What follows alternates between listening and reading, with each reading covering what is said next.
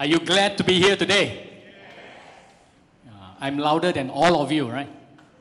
Right? Just now, my wife said uh, she's a hard nut to crack. Uh, she's telling the truth. huh? yeah. How many of you of you uh, are glad to be here today? Can I have a show of hands? Amen. How many of you think that today you will hear the word of God? Amen. You know, I when uh, this month the church is uh, teaching the area of, of discipleship. It says, uh, "Come, okay, uh, connect, grow together, and go." Right. So this area concerns the area of discipleship. To some of us, we may think discipleship is a very basic term. All right? You, you, you think that you have known it all. But regardless of which level of faith you are in today, I want you to just open up your hearts. Yeah? Open up your hearts today and let the Holy Spirit speak to you. Over the last two weeks, as I was preparing this message, I'm also hearing, you know, the, the message that the Lord has given to me. So it is not only going to touch those who have just come to know the Lord. It has touched me, right? I have been a follow, a, a disciple of Christ for many years, but that this message that I've prepared has also touched me. And I believe today that the Holy Spirit will will touch most of us here today. Most of us who are present in this church today, the Holy Spirit will touch you. But just open up your hearts and allow the word of God to speak to you. Amen. Amen. Okay, let us uh, commit this time to the Lord in prayer. Hallelujah. Father, we thank you, Lord, for this I thank you, Lord, for this privilege to be able to stand in front of your precious children, to deliver your word, oh God. Lord, I pray, oh God, that every word that comes out from my mouth, oh God, are yours and yours alone, oh God. And any words of the enemies, we ask to be silenced in the name of Jesus. And I pray, Father, that you help, oh God, our brothers and sisters here in church today, oh God, to have an open heart, oh God. Lord, so that your word, oh Father, will touch their hearts, oh God, will penetrate, oh God, into their spirit, and they will understand, oh God, what you mean, oh Father, when you say, go and make disciples. We commit to you this sermon, oh God, in Jesus' name we pray. Everybody say, Amen. Amen. Amen. Amen. Are you ready? Okay, we're going to launch, right? We're going to launch. All right? The Lord Jesus, when he was walking the face of the earth, doing his earthly ministry, he spoke to many people. He was speaking all the time, right? And if you open the gospel, the four, the first four books in the New Testament, you will see what he spoke, and it is written in the red lettered words. Correct?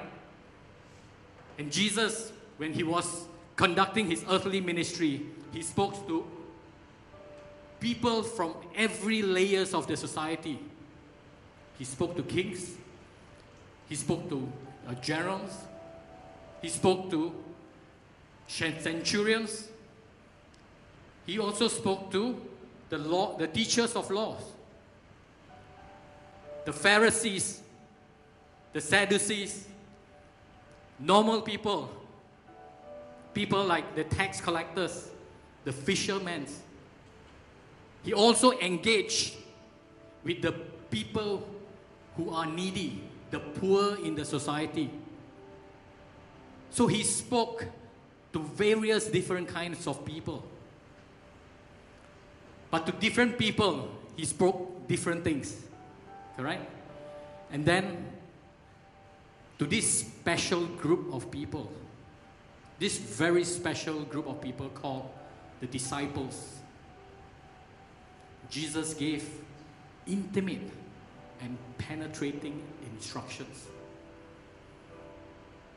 Those kinds of words that people would normally give only to the close circles of people. Very special. Jesus spoke many, many parables. He spoke parables to the multitudes. But when he came to the disciples, he spent time explaining the parables.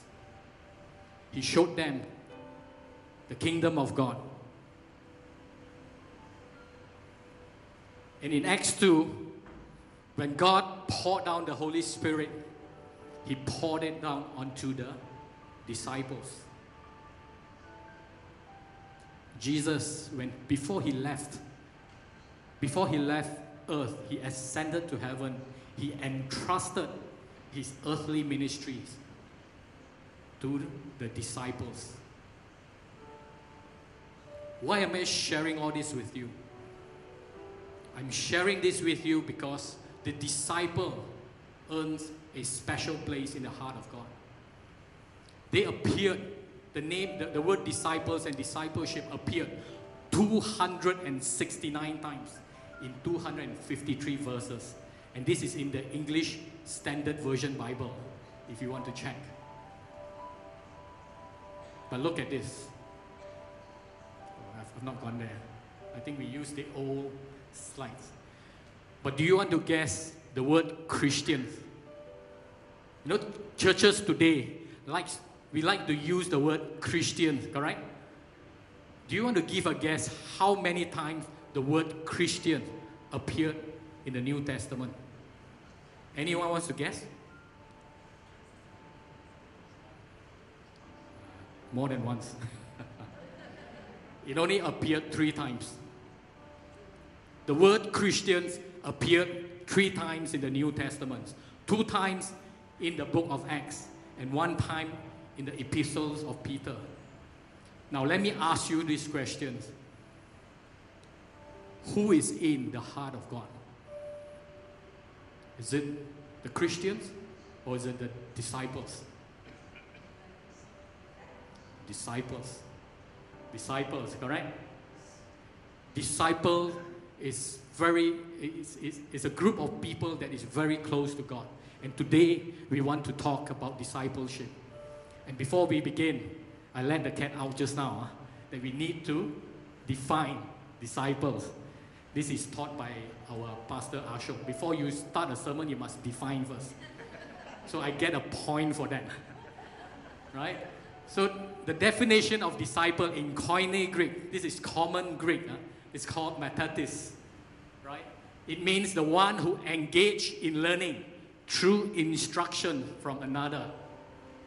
It calls to imitate the teacher's life, inculcate his values, and reproduces his teaching. This is very different from what we call learning today in, church, in, in, schools, correct? What we learn eh, just stays here in, the, in, in our mind, in our head. It doesn't comes out. But when it comes to disciples, it is not just about learning. It is about applying that which we have learned into our life. It is not about uh, theology, right? It is not about doctrines. It is about applying those truths in our lives. It is not just about knowing who Jesus is. It is about living and acting like Jesus in our life. That is the definition of disciples. I want to bring you to our text today. We'll be sharing uh, from the book of Luke, Luke 24, uh, 14, verse 25 to 35. This is about discipleship.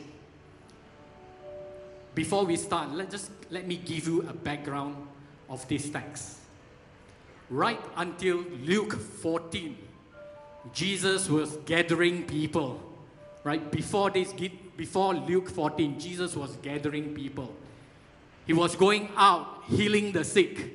He was going out, you know, uh, raising up the, the dead, the lame, causing the lame to walk, cleansing the lepers. He went out to feed people. And you know, he fed thousands and thousands of people. So when you have someone who does that, what happens? Multitudes, multitudes followed him. But beginning this chapter, uh, Luke 14, the 14th chapter of Luke, this is situated in the third section of the book of Luke, where Jesus is on the way to Jerusalem.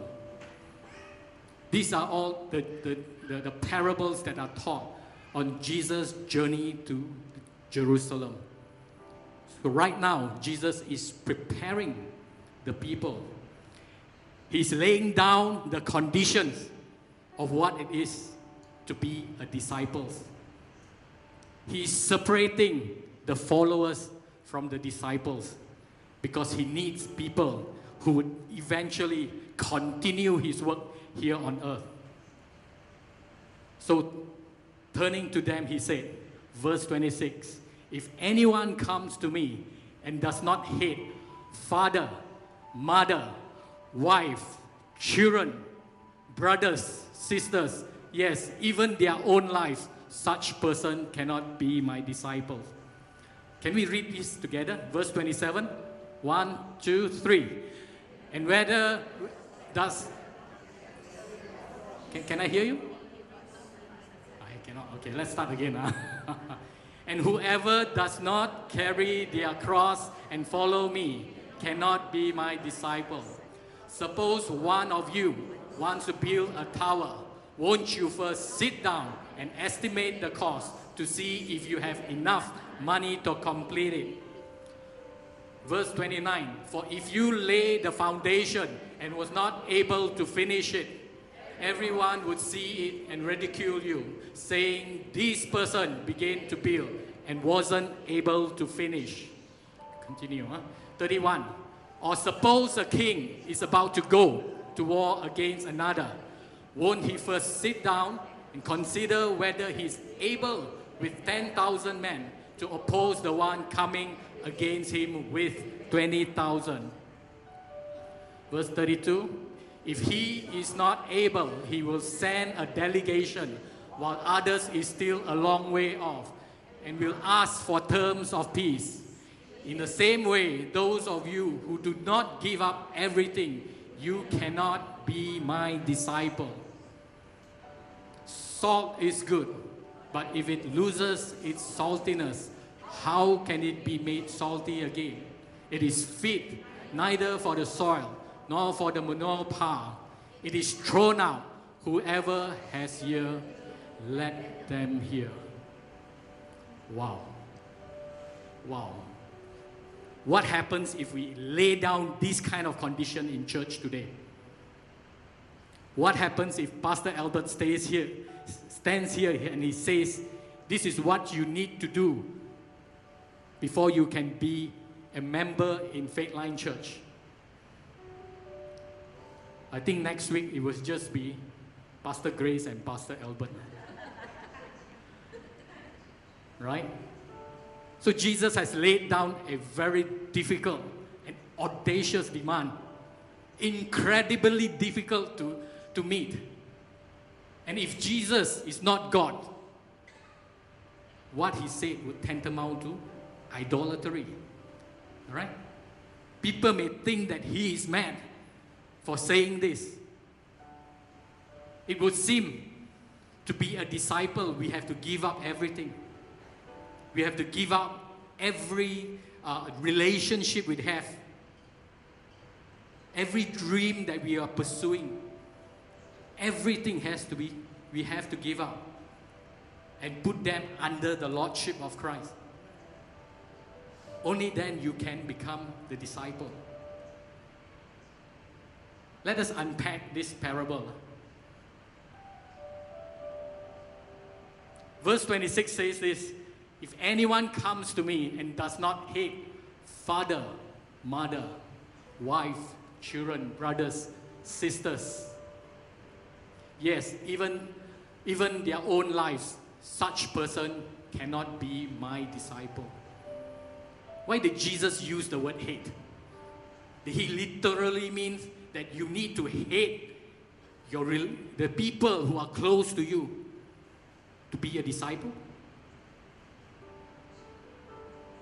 But Jesus taught all, in, in, in, all, in, in the scriptures, Jesus taught about love, correct?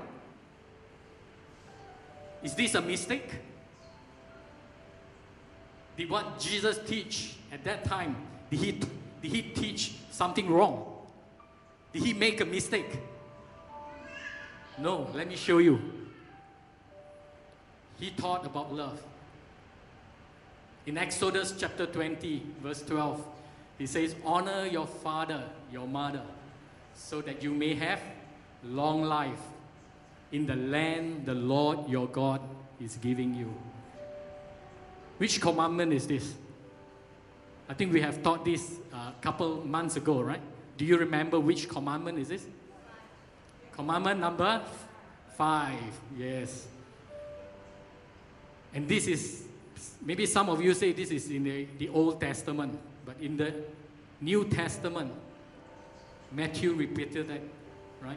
In Matthew 15, he says, For God commanded, honor your father, your mother, and whoever reviles your father or your mother must surely die. When God used the word die, serious one. He's not playing, playing. Correct? So what, what did Jesus mean when he used the word hate? Matthew, in a few verse, verses before Matthew 15, he clarified. This is what he says. Matthew 10 37. Whoever loves father or mother more than me. When Jesus wrote hate, he actually meant when you love them more than me, you are not worthy of me. And whoever loves sons or daughter more than me, it's not worthy of me. What about wives? Remember just now I said my wife is a hard nut to crack, right? So I better put in this line so I don't have any problem at home. Paul teaches this. Huh? Husband, love your wives to the extent Jesus loved the church. What did Jesus do for the church? Jesus laid his life for the church. That's why Paul tells us to mimic him. Right? That we should lay our lives for our wives. What about children? You all know who this person is? okay. Malachi 4, verse 6, it says, He will turn the hearts of the parents to their children and the hearts of the children to their parents. God is bringing the children and the parents together. He is not telling them to hate them, not telling the parents to hate the children by pushing them away. Correct? And then in 1 John chapter 4 verse 21, if you love God, you will love your brother and your sister. What happens if you do not love your brothers and your, and your sisters? So we will also doubt whether you love God or not. So why did Jesus use the word hate?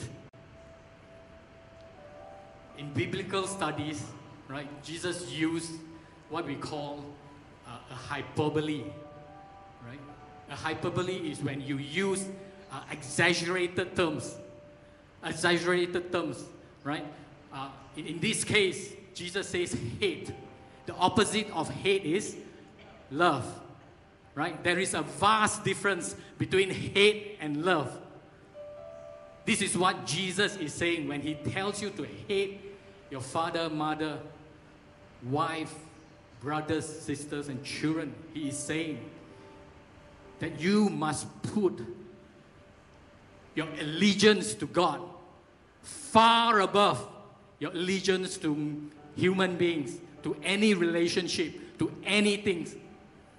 He is saying that you should love God much more than any relationship you have, anything that you have. That is what Jesus meant when he used the word hate. Right? So after, after learn, uh, listening to this message, you would know when Jesus says to hate your father, mother, wives, brothers, sisters, children. He's not telling you to, to be disconnected with them. He's not saying that. Why did I put this picture of uh, Juliana here? She requested that I call her Juliana when I preach. I think about two and a half years ago, when, when our church was meeting at the Crystal Crown, right, we made the trip to Singapore. And Juliana loves to travel. The day you tell her that, uh, you know, you have a trip coming up, that would be her topic of conversation, starting that moment, right? Anybody that she meets, she will be talking about that trip. Any friends, whether it's in school, in her ballet class, in church, he will be, she will be telling them about the trip that she's going to have. So I remember driving down on a Saturday morning, right? Uh, and we, we took about five and a half hours to get to Singapore. Slow drive. Uh, but throughout that trip, can you imagine five and a half hours? She's talking all the way. You don't need to turn on the radio, uh, just listening to her right? She will share what she wants to do when she gets to Singapore, and what kind of uh, activity she wants to be involved in, uh, the food that she wants to take, all sorts of things, right? And she didn't rest throughout the trip. Long story short, we arrived, we checked in, right? Again, she was talking. But when I arrived at the hotel, after driving five and a half hours at my age lah. Huh? Guess what I did at night? I slept like a log. I don't know whether Juliana slept or not. Huh? But the next morning, what we did was we, we, we went, we attend church, but we went to the first service, right? First service. And uh, uh, the first service start, started at around, I think, 8 o'clock in the morning. That means we have to get up like 7 something or 7 o'clock in the morning. So I got up and, and the, got everybody ready. We went to church. I think it's a thing in the church. Uh. Most churches we go to is pretty cold. I think our church, we have the same problem, right? Right? You sit down there, the aircon is, is, is turned on full blast. Right? So that, what, that was what happened uh, in that morning. And the service ended about uh, 10.30. We went out. Singapore, you know, 10.30 in the morning. It's cold. So we came from a cold, uh, no, it's not cold, it's hot. We came from a cold uh, environment to a hot environment. And then at that time I saw Juliana's eyes was tearing.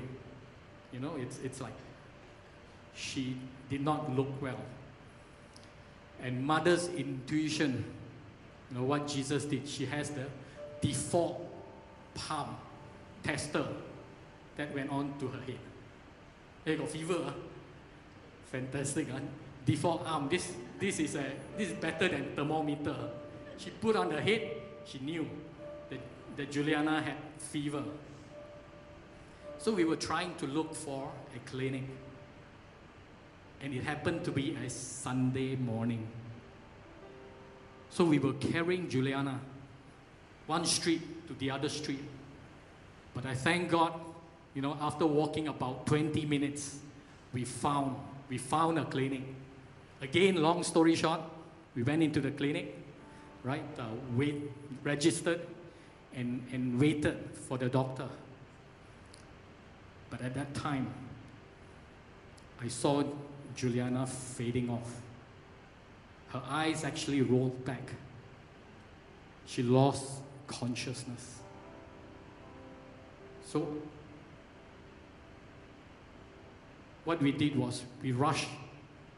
We, we, we, we called, we, we told the, the, the, the nurse there, please help my daughter. Please help my daughter. Right? And we went in.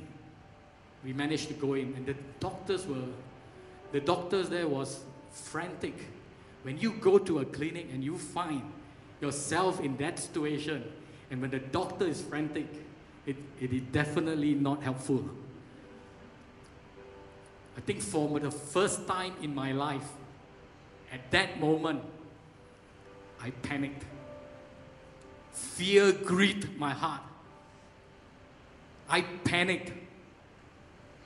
It's like, you know, when you read the gospel, there's this Canaanite woman who went to Jesus and said, Jesus, help my daughter. Help my daughter. Jesus did not want to help her, right? But she said, What? Please help me. That was what I did. Please help me. You know, the clinic made a call to the hospital and asked for an ambulance. Let me ask you when you hear of that, is that helpful? The heart dropped to the stomach. Not only the stomach, the bottom side of the stomach. So at that time, I asked the nurse, help me, but nobody, nobody responded. They were frantically trying to address, you know, the, the situation that Juliana is going through. Even a prick to, to check her blood did not wake her. So I went to the Lord, Lord, please help my daughter. Flashes of her leaving me came. I, I do not want to lose my precious one. And then God spoke.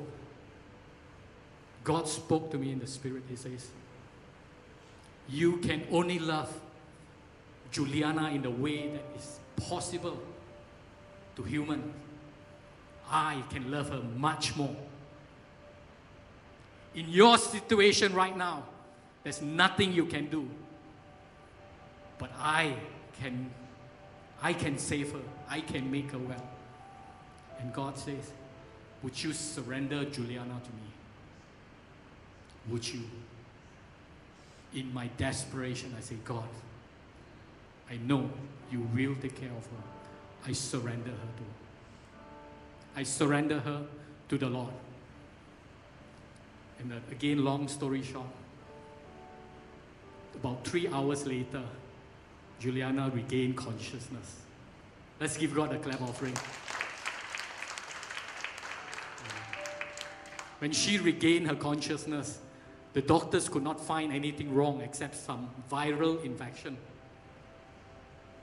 They could not find anything wrong. But, she, but the doctor did not allow her to go. Right? They kept her in the hospital for observation because they could not find what, what else is wrong with her.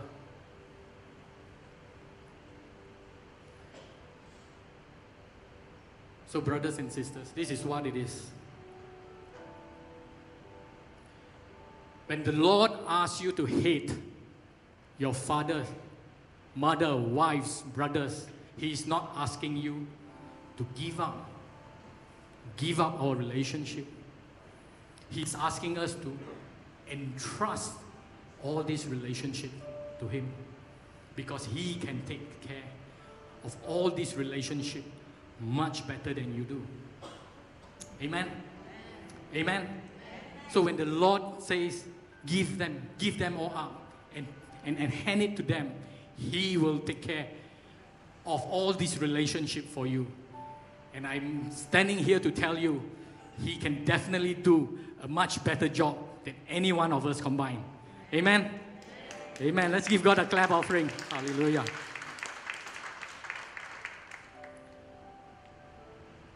The second, uh, the second part of this cost to discipleship, it is not just relationship God is talking about. Verse 27, it tells us, And if you do not carry your own cross and follow me, you cannot be my disciples. In the Roman world, the people knew before a person goes onto the cross, die on the cross, they must first carry their cross. They, don't, they just don't hang them on the cross, they first hang the cross on them. And the people there knew that going to the cross is a one way street, it's a one way journey. There is no turning back. Luke chapter 9 tells us this. This is Luke chapter 9 23. Whoever wants to be my disciples must deny, deny themselves, pick up the cross daily and follow me. How does this apply to us today? When we look at the cross, the cross is when your will meets the will of God. The cross is your when your will, your will meets the will of God, and you stand stand out and say, God, I surrender my will to your will. Come, come into my life. This is what means by when we say, pick up your cross and follow him. Pick up your cross and follow him. Bear in mind, discipleship. Discipleship is not a once off payment, it is actually a daily installment. It doesn't work that when you say you have given it up to God three months ago, it is not applicable today. It doesn't work when you say, I have given up my cross last week. It doesn't apply today. Discipleship is when you choose to pick up the cross and follow Him daily.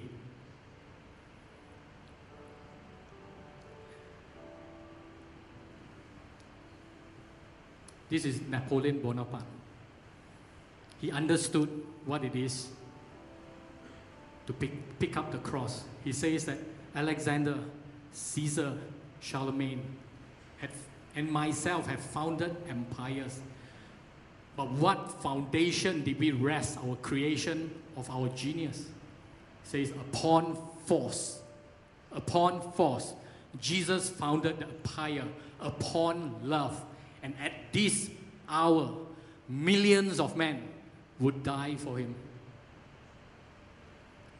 The late Billy Graham says this Salvation is free, but discipleship will cost everything that we have.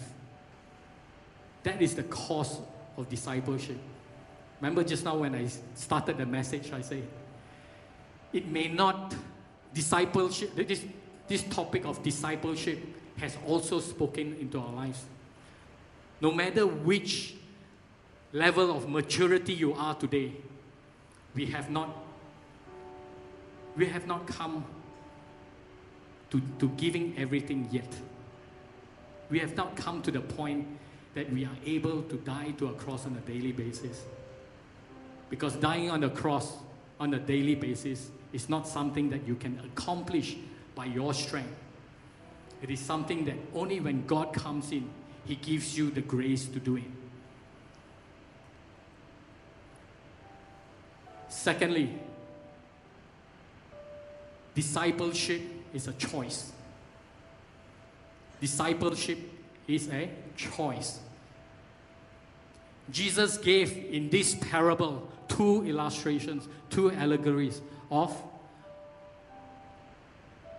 how one should count the cost before you follow Jesus. Say that you want to be his disciples. You need to count the cost. He says, don't begin to the builder, don't begin until you have counted the cost. For who would begin construction of a building without first calculating the cost and see if there's enough money to finish it? One is not enough.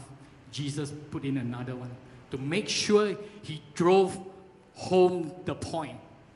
Right? He says that king, what king would go to war against another king without first sitting down with his counselor to discuss whether his army could defeat the soldiers marking, marching against him.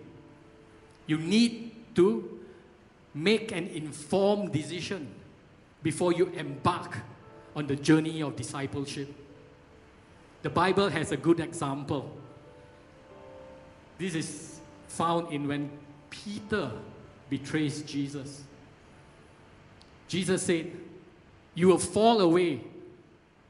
Saying to who? To the disciples, right? You will fall away, for it is written, I will strike the shepherd, and the sheep will be scattered. We all knew, know that uh, Peter replied this Though they all fall away because of you, I, I, I, Peter, will never fall away. Luke has it this way He says, Lord, I'm ready to go with you to both prison and to death. Peter was fast to speak. We all know the story after that. Jesus, no, this Peter, what did Peter do? Peter abandoned Jesus, right?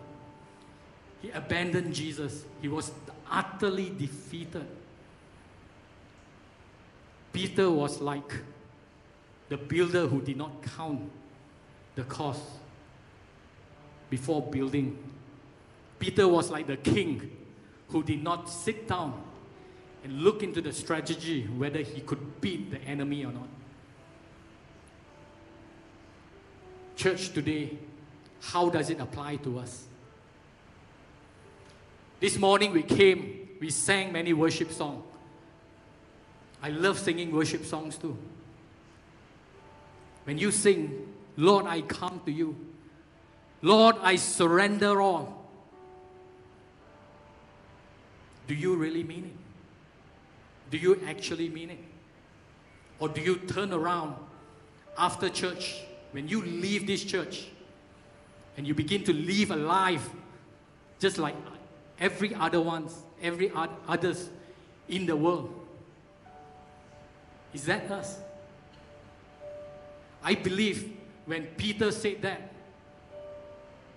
Lord, Lord, I'm ready to go with you both to prison and to death.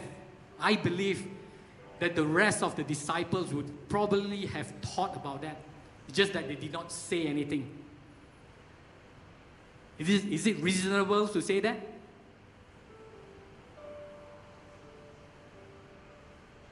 What about the multitudes? I think the multitude, when you read, uh, when Jesus uh, went into, uh, had the, what you call the triumphant entry to Jerusalem. Remember the people were shouting, Hosanna, Hosanna, Hosanna in the highest, right? And a few weeks, few days later, in fact, Another group of people were saying, Crucify him, crucify him. Let me ask you this question What happened to the people who, who said, Hosanna, Hosanna, Hosanna in the highest?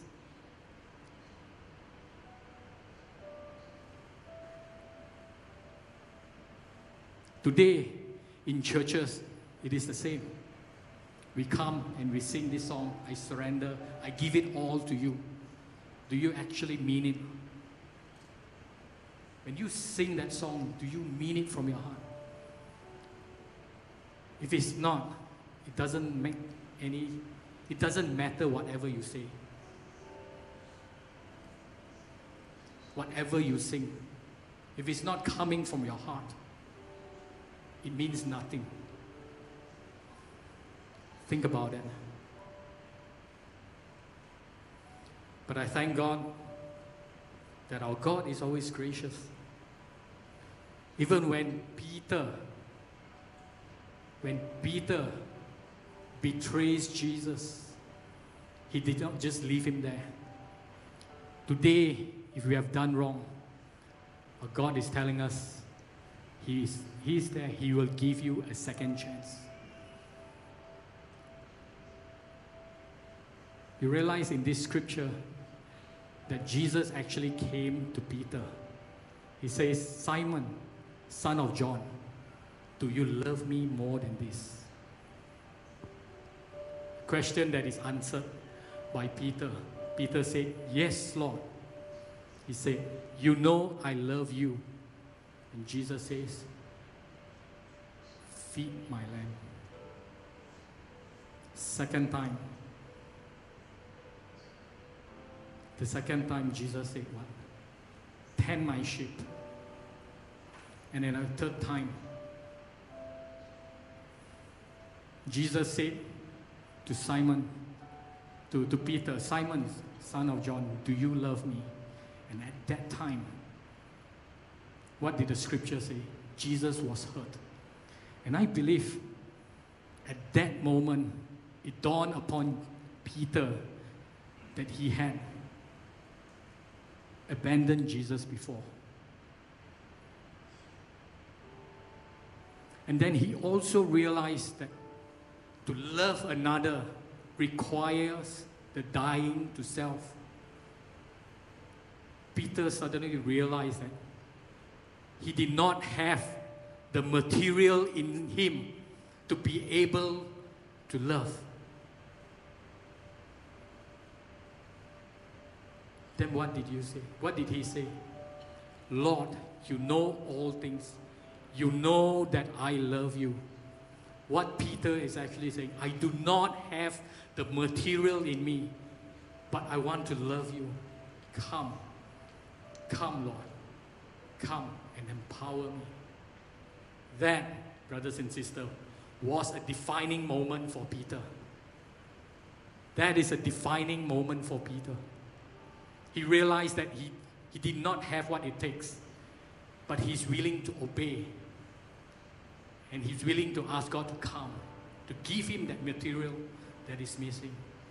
He did not have the agape love, he just had the filial love. It is God who can give you that love. And that you can then go out and love others. So the choice of the discipleship cannot be made on our own strength. Right? It is through God's grace that He enables us to pick up the cross and follow Him daily. So the next time when we sing this song, right, in, in, the, in the worship session, just search our hearts and ask God to come and give us the material that we need so that we will be able to surrender ourselves to Him, so that we are able to pick up our cross and follow Him, so that we are able to love Him the way that He asks us to love. And this is the third point that I want to talk about today. Disciple, there is uh, there's characteristics in discipleship. This is the third fundamental I want to share with you. Salt is good for seasoning, but if it loses its flavor, how do you make it salty again? Flavorless salt is good for neither the soil nor for the manure pile. It is thrown away. What this verse is saying salt, salt, if it's function in the function that God has, has caused it to, to do, if it functions, it is good. Soil, if it functions in the way God has called it to, to function, it is good. Even manure, manure pile, if it functions, it will fertilize plants. But what happens if salt loses its saltiness? It becomes flavorless. Then it is not good. It is thrown away. It is placed even not worthy to be placed together with the manure pile. Very strong word indeed. The question here we need to ask ourselves what is the call of the disciple then? The disciple calling is to season the world by making a difference. Season the world by making a difference. Today, when you come to church alone and do not do anything else, it would not make a difference. If we as a church are looking to add people into the kingdom of God, if we as church wants to see a revival in the kingdom of God, if we as a church wants to see the nation comes to comes to Jesus, our attendance here in church will not make the difference. When we go to Bible classes and not applying the truth of what has been taught, it will not make the difference.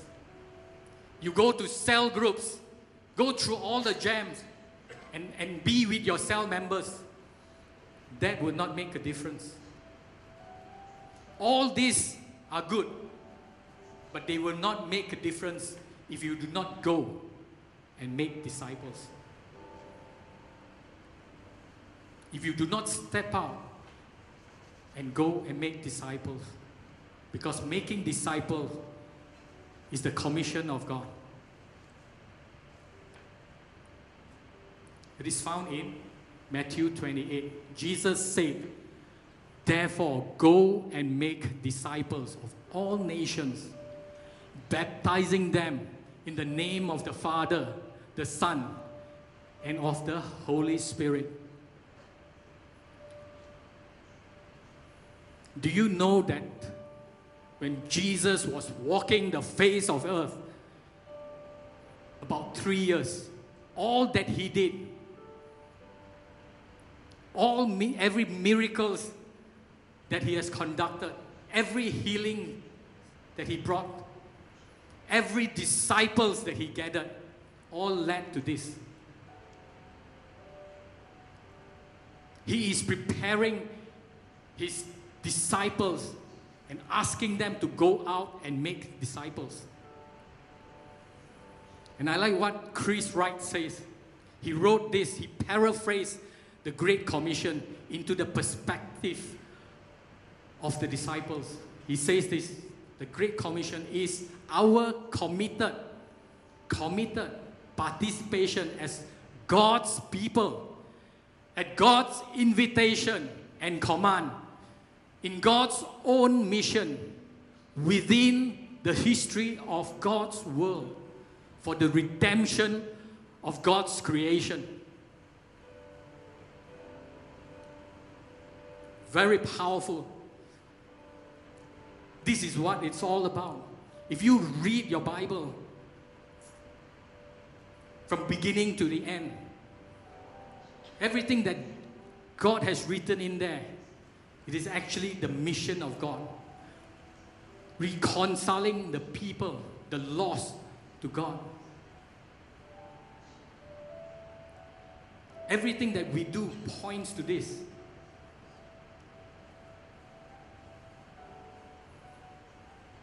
You know, it is our mission. I want to tell you today, it is not the job of the leaders, the pastors, the full time staffs in church to make disciples. Ephesians 4:11 says it is the job of the apostles, the prophets, the evangelists, the pastors, the teachers to equip God's people to do his work and to build up the church, the body of Christ. Just because the church pays certain people a salary, it does not make them a professional disciple maker. I think don't have right that term. Don't have right. There is no such thing as professional disciple makers for just the leaders. But if you bring that down to every disciple, maybe can. It works. It is the disciples' role to bring disciples into the kingdom of God.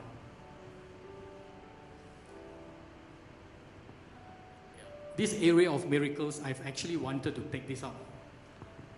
And as I was praying last night, the Lord said, keep this. You know that there are great many churches today that are functioning, that are spending all their times in the power gifts. I want to make this clarification. I'm not against power gifts. I believe that God still works today. I believe miracles are for today. But if you begin to lose focus on what God wants us to do, the purpose of miracles, then you miss it all. Churches, even leaders, pastors, spend all their time just you know seeing miracles happen, you know, teaching people to do miracles. But if you do not, you do not point all this work to Jesus, then it becomes all effortless. The purpose of miracles first is to authenticate the messenger, telling people that this messenger is from God. Number two, to authenticate the message, that the message itself is from God.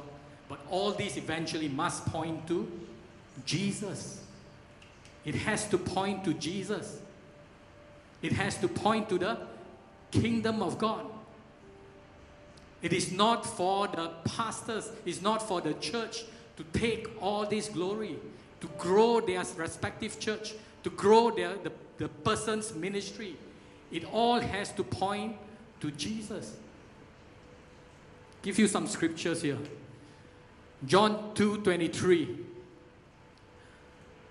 Now when he, this he is Jesus, uh, was in Jerusalem at Passover during the feast, many believed in his name when they saw the signs which he did. Signs points people back to Jesus. John 4:48 Unless you people see signs and wonders, Jesus told. Jesus told, told him, this is the person in Capernaum, the official in Capernaum, that you will never believe. So signs are brought to open people's eyes so that they can see that our God is true, that the message that is preached is from God. In Acts chapter 5, the apostle performs many signs and wonders amongst the people, and all the believers used to meet together in Solomon's colonnade. More and more men and women believed in the Lord, and they were added to their numbers. And if you read the book of Acts, there are at least 17 other occurrences where miracles points to the kingdom of God, adding people into the kingdom of God. The miracles at Pentecost brought 3,000 to the church. The miracles in Acts 3, the healing of the lame, 2,000 added to the church. The healing of Ananias, the city of Lydda, or the town of Lydda, the town of Sharon, gave their life to the Lord. The raising of Tabitha, the town of Joppa, the people there came to the Lord.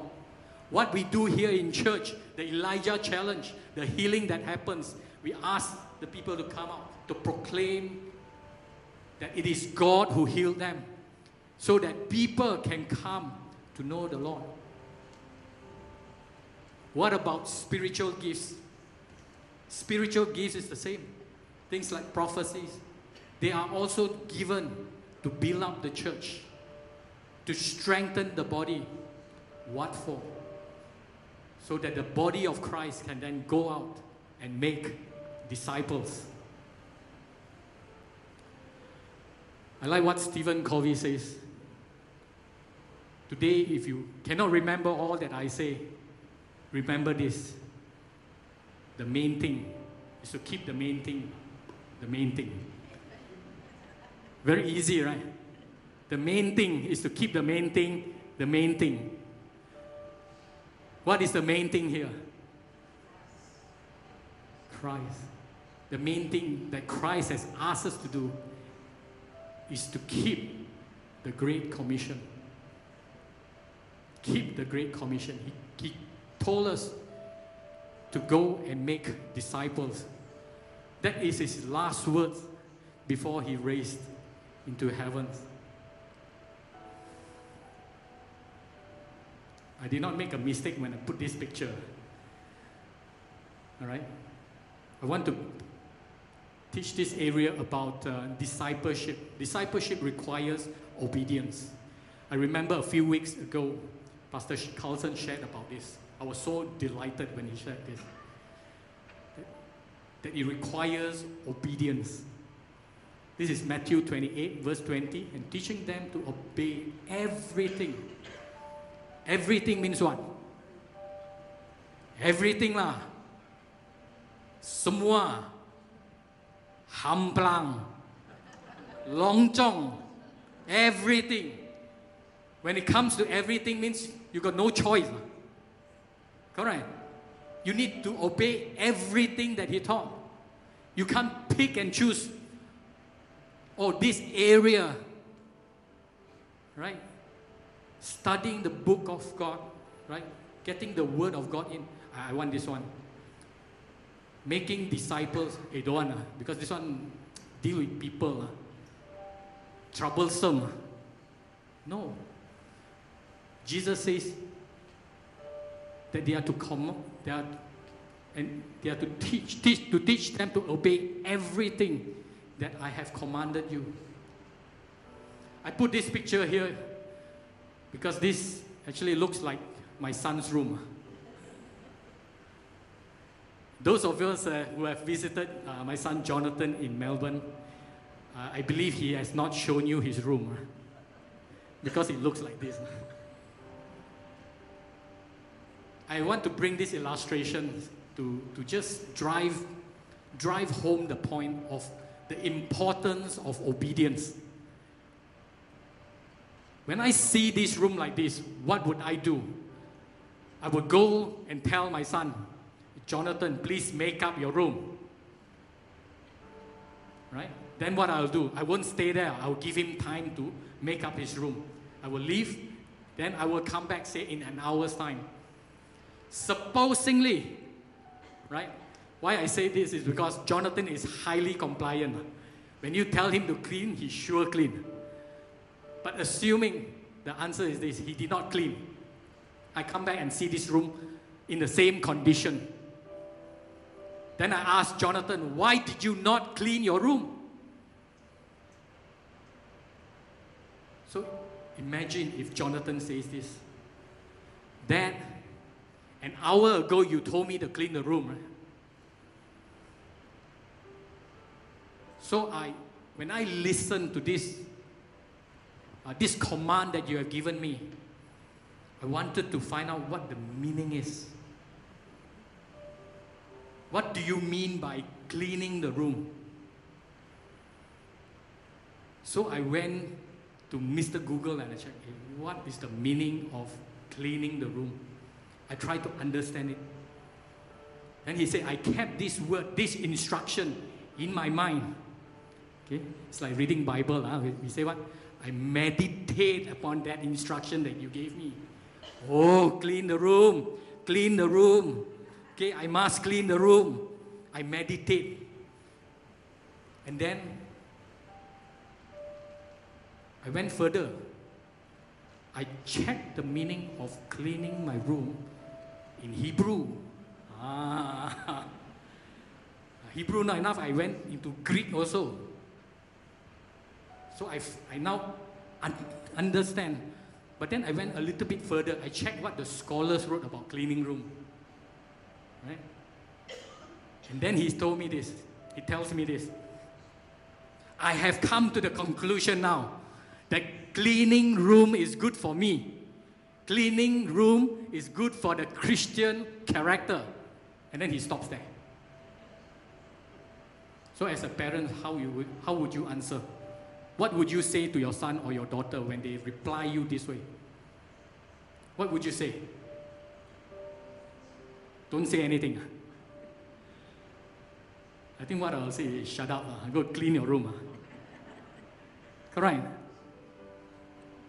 But that is what we do. Some Christians take on the Word of God. We meditate on the Word. We understand the Word. But it never, it did not go to where the heart is. That's why in the world they say the greatest distance in the world it's between the distance between the, the head and the heart. You can have all your understanding here, but if it does not come down here, it makes no difference. It means nothing. Jesus said this in John chapter 4, verses, verse 23. Anyone who loves me will obey my teaching. My Father will love them, and we will come to them and make our home with them. This obedience, brothers and sisters, I'm not, we are not talking about duty bound obedience. It is the obedience that because it is because Jesus, because Jesus in me compels me to do it. When Jesus comes into your heart, you want to obey him.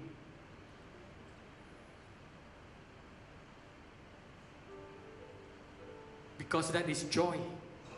That is true Christian living. When God fills your heart, He will comes, He comes out through your mouth. That is sharing the word of God. When He feels your heart, He comes out through your mouth. Martin Luther says this yeah? We are saved by faith alone. I like this second part. But faith that saves is never alone. Amen? Amen?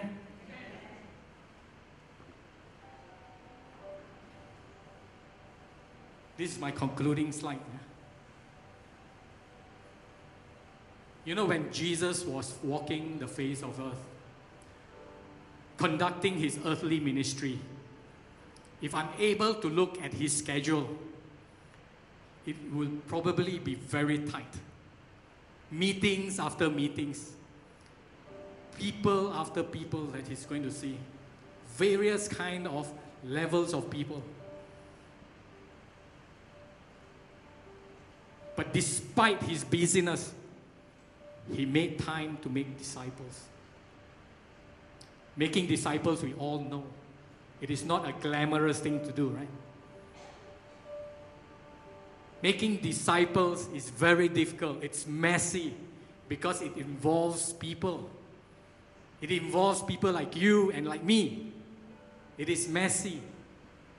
But Jesus emphasized on making disciples despite his busyness. Because he knew that he would not be ministering on this earth forever. The, the same thing goes to, with us, to us today. We will not be here forever. Are we making disciples? Are we making disciples? I'd like to welcome the worship team to come.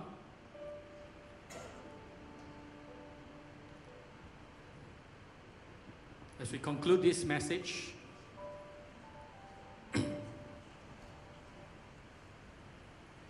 Maybe you do not know how to begin. The word has come and it has touched your life today. You do not know where to begin.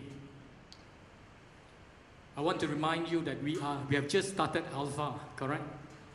We are in the second week. We just completed the second week of Alpha last Friday. Alpha is a place where you bring the people who do not know God to come and listen to messages. Alpha is one of the evangelistic tools that FaithLine uses to reach out. You cannot make disciples when do you do not have souls to minister, disciple. So the discipleship begins with evangelism. I want to encourage you right, to invite your friends this coming Friday to come so that they can hear the gospel message. Maybe some of us here think that, hey, we do not have friends left to invite. But I want to encourage you to just take out your phone, open up your, your, your contact book. Every single name that is in that book are your potential starfish. Everyone deserves to hear the gospel message. Whether they accept Christ or not, that is not our job. That is not our role. That is the role of the Holy Spirit. Would we be faithful in His calling? Would we be faithful to invite the friends who are listed in our, in our phone books for them to come to hear the gospel message? Maybe some of us here have been faithfully doing that. But I want to encourage you today as you have heard this message. Do not stop there. Don't stop by making converts. Don't stop by making people Christians. But continue, continue on. Invest your life in them, invest your time in them so that they can become a disciple of yours. Duplicate yourself. Amen. I want to invite everyone to stand up on your feet now. Because discipleship involves every single one of us. I want to invite everyone to stand up on your feet. I want you to just spend the next two minutes. Just allow the truth that has been shared on this pulpit, this platform here today, to, to, to get into your spirit. If the Lord has given you names, if the Lord has given you pictures of people, write them down. Write them down.